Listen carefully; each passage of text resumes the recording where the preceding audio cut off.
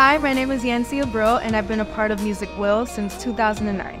Been the best decision ever that I decided to be a part of the program, and Music Will is still a big part of my career and what I'm doing now, and there's such huge supporters of what I'm doing.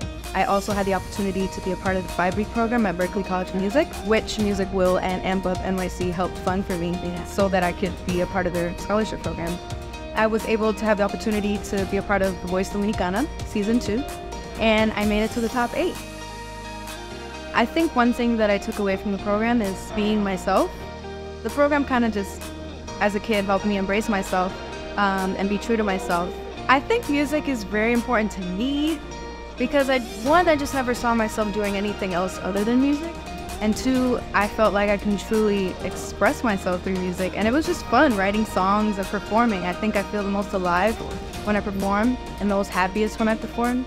So yeah, music is kind of my everything.